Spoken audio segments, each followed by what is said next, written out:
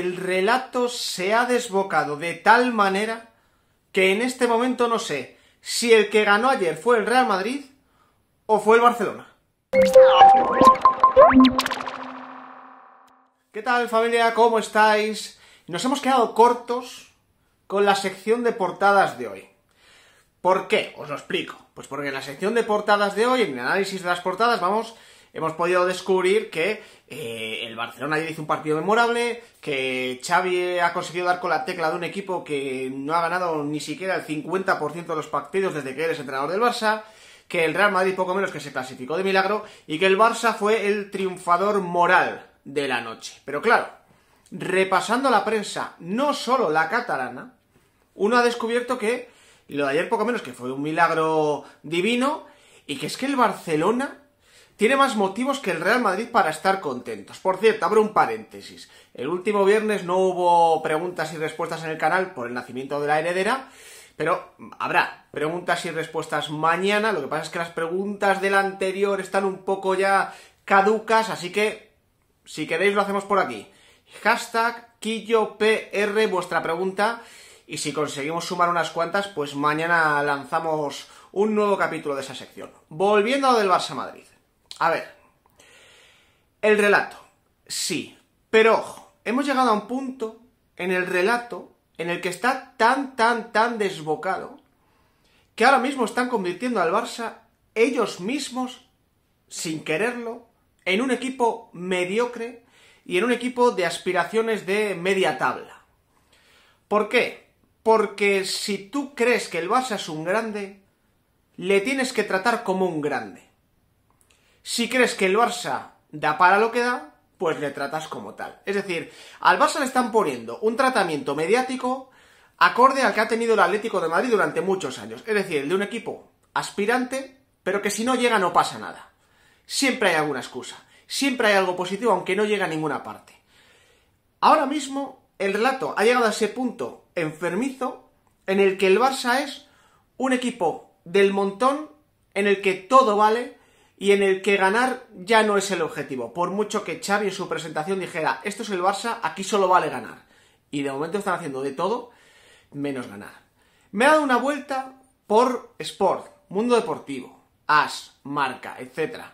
He visto artículos de todo tipo y he dicho, los voy a traer aquí porque hay gente que dice, joder, es que eres muy exagerado con el relato, Quillo. Es que la prensa es madridista, Quillo, que no te das cuenta. Vais a ver la prensa madridista. Evidentemente os voy a ir colgando las capturas, una tras otra, una tras otra, pero esta vez solo voy a leer lo que está sombreado en azul, porque si no estaríamos aquí haciendo un vídeo de 30 minutos tranquilamente. Os voy leyendo todas y luego sacamos conclusiones, porque vais a ver que no es un periodista, que no es un medio de comunicación en concreto, que no es una columna en concreto, que no es un tuitero, que no es un creador de contenido. No. Vamos poco a poco. Primera captura. Santi Noya, en Mundo Deportivo. El clásico fue un gran partido para los espectadores y dejó a un Madrid en la final y al Barça con la mejor imagen de un equipo con capacidad para competir. El encuentro debía haberse decidido en la suerte de los penaltis. El Barça salió reforzado tras el buen encuentro. Santi Jiménez, Diario As. El Barça, que llegaba al encuentro casi sin opciones, supo plantar cara al Real Madrid en un partido que duele por la derrota, pero que deja muchas cosas claras. Empecemos por las buenas para el Barça. Gaby es un escándalo de futbolista, Ansu tiene un don, Pedri ha vuelto y Nico tira la puerta. Alfredo Relaño, en el diario As. Perdió, pero no se puede reprochar nada. Habrá sobre el Barça, claro. Por primera vez en mucho tiempo, vislumbramos un Barça solvente que llevó al Madrid al límite, a la prórroga. Perdió el partido, pero recuperó la ilusión. Segunda parte de este artículo de Relaño. El Madrid pasa a la final y está contento, pero el Barça no está triste porque se ha reencontrado. Pitu Abril, Mundo Deportivo. Ayer, pese a la derrota, el equipo, el Barça, dio un gran paso adelante, un punto de inflexión que dijo Xavi. Con ellos, con Pedri y con Ansu, la reconstrucción sigue por el buen camino del que será un Super Barça. Pichi Alonso, Diario Sport. La principal lección a extraer tras el clásico es que este Barça, con todo su arsenal ya a disposición de Xavi, sí puede competir con cualquiera. Lobo Carrasco, Mundo Deportivo. El Madrid lo tenía fácil, apelotonado atrás, pero Xavi no. No llegó la recompensa, pero sí la recuperación de la buena imagen, imagen en mayúsculas. Luis Mascaró, Diario Sport. Este Madrid tiene demasiado oficio. Este duelo de la Supercopa llegaba demasiado pronto. No se ganó el clásico, pero el triunfo moral es inapelable. Joan María Batle, primera parte. Hay muchas maneras de perder, y perder así, en la prórroga, igualando dos veces sendas ventajas del Madrid, es una de las mejores. Segunda parte. La clave es que el Barça sale muy reforzado y con la seguridad de que Pedri y Ansu Fati le darán alas. Fernando Polo, Mundo Deportivo. La imagen dada en Riaz, empatando por dos veces y metiendo al equipo de Ancelotti en su área por méritos propios, deja regusto de derrota dulce, de que el equipo ya va hacia donde pide Xavi y de que el Madrid ya es batible. Ernest Folch, Diario Sport, primera parte. Ganó el Madrid, pero solo porque tiene más pegada y por supuesto más experiencia, pero fue una dulce derrota para el Barça. En ningún momento se pusieron de manifiesto los 17 puntos que el equipo blanco lleva al Blaugrana en la liga. Segunda parte del artículo de Ernest Folch. La buena noticia es que, aunque el presente duela, el futuro es, sin duda, del Barça. Bueno. ¿Y qué hacemos? De todo tipo, ¿eh? Me ha faltado algo de marca pero vamos, si veis, hay algún artículo de Ramiro Aldunate en Marca, en las tertulas de Radio Marca también se ha hablado muy bien del Barça, o sea, estas cosas que yo os traigo, las podéis encontrar por vosotros mismos, no es que yo me lo invente. Tú te metes en la web de Marca y encuentras artículos de opinión a favor del Barça, escuchas Radio Marca también. Yo lo que os he traído es de Sport, de Mundo Deportivo y del Diario As. Periódicos catalanes y un periódico, se supone, se supone, o eso dicen, madridista.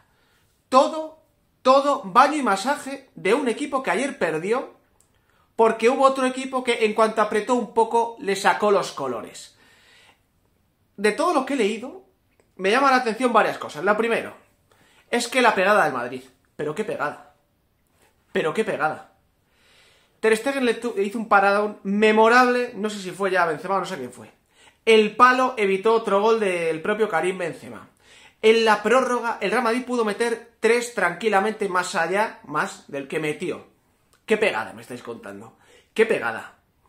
No, es que el Real Madrid no demostró superioridad. Los primeros 25-30 minutos del partido son un baño brutal del Real Madrid. Trató al Barça como si fuera un pelele. Hizo con él lo que quiso. Lo malo es que no se generó lo suficiente como para llevar el marcador más allá del 1-0 con ese golazo de Vinicius pero que el Real Madrid le pasó por encima al Barcelona durante media hora, es así, y que la mejor versión del Barcelona no llegó a someter al Real Madrid, como sí sucedió al revés, pues también habrá que decirlo. Hablan también de que, no, es que el Real Madrid se defendió y el Real Madrid se encontró cómodo metido atrás. Otro mantra. Otro mantra de que el Madrid juega mejor metido atrás y que es un equipo que cede la posesión. Mira, el primer gol del Real Madrid es un robo en campo contrario, que eso no se hace si defiendes con todo el equipo metido atrás. Por ejemplo, es decir, el Real Madrid presionó arriba. No tan arriba como otras veces, porque el hecho de que no estuviera David Álava significa que la línea, por lo menos la de la defensa, está más atrás y al final cuando quieres juntar las líneas te tienes que acercar más a la defensa. Pero el primer gol nace de una presión adelantada del Real Madrid, no de un equipo precisamente que estuviera metido atrás. en la prórroga, el Real Madrid genera multitud de ocasiones a la contra porque va ganando. Porque va ganando y porque en ese contexto sí que le interesa. El tiro al palo de Benzema es después de una jugada fantástica del Real Madrid en la que baila el Barcelona de lado a lado con un juego de posesión, perfecto. Perfecto. Seguro que os acordáis qué jugada os digo. Una jugada que nace casi con Tony Kroos en la base, juntándose con Luka Modric, tocando de un lado a otro. La jugada acaba en el área contraria con Benzema rematando al palo. O sea, el Real Madrid ayer, dentro de que no fue un gran partido el Real Madrid ni mucho menos, le demostró a la gente que tiene un abanico de un abanico futbolístico bastante más amplio que el del Barcelona. Te metió un gol presionando arriba, te metió un gol al contragolpe y estuvo a punto de meterte otro con una posesión bastante larga. Aparte de que durante media hora te dio un baño jugando con posesión y también aprovechando los espacios que se podían generar con las carreras de Vinicius, Benzema y compañía. O sea que la pegada, el Madrid defiende tal. Luego, el Barça ya está preparado para competir. El Barça eh, ya está a la altura. Que no estáis a la altura de nadie. Que no estáis a la altura de nadie. El Bayern os, ganó andando. El Atlético de Madrid os ganó andando. Y ayer el Real Madrid os gana andando. Ayer el Real Madrid, cuando aprieta, mete gol. Si el Real Madrid ayer, yo ahora viendo el partido de nuevo, que lo, he estado repasando, tengo la sensación, en frío claro, de que si ayer el Barça llega a meter el 3-3 en el minuto 113, el Madrid le vuelve a meter el cuarto. El Madrid le mete otra vez el cuarto.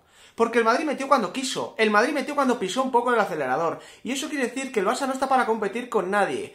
Quiere decir que cualquier equipo medianamente grande sabe cuándo le puede ganar al Barcelona. O sabe en qué momento va a necesitar apretar para ganar al Barcelona. Esto es así. Otra cosa es que a me duela que el Real Madrid ayer se diera un paseo y jugase medio dormido y con las revoluciones muy bajas porque desaprovechó la oportunidad de hacerle un roto al Barcelona. Eso es otra historia.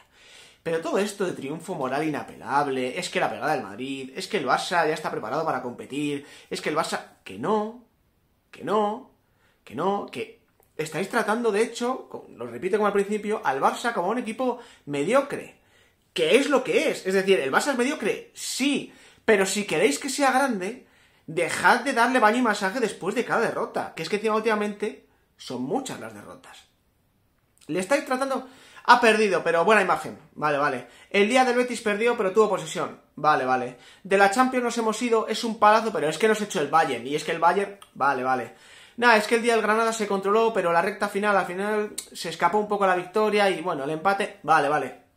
Vale, vale, vale, vale, vale, vale. Europa League. Vale, vale, vale, vale, vale, vale. Sextos en Liga. Vale, vale, vale, vale, vale, vale. Fuera de la final de la Supercopa. ¿Dónde está la grandeza del Barça? ¿Dónde está el Barça que ha vuelto? ¿Sabéis qué Barça ha vuelto? El de antes de Messi, que lo llevo diciendo muchos meses aquí y me he comido guantazos de todos los colores. Este Barça, este Barça es el de toda la vida.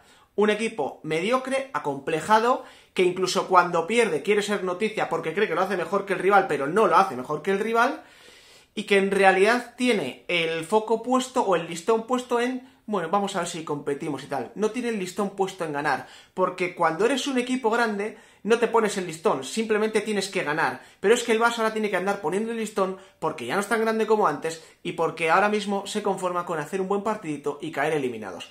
Ojalá, ojalá el Real Madrid nunca tenga que celebrar eh, humillaciones en Europa o que te gane cualquiera andando eh, porque estamos en reconstrucción y vale, nos han ganado andando, pero he visto brotes verdes. Ojalá no tenga que ver eso al Real Madrid nunca, porque me daría una pena infinita.